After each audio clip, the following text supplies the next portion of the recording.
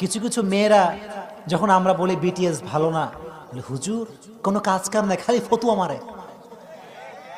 আমি বলি, এই বোন, তুমি কি বোঝো না যে বিটিএস বিধর্মীদের কালচার মুসলমান ঘরের সন্তান বিটিএস দের ভক্ত হতে পারে না।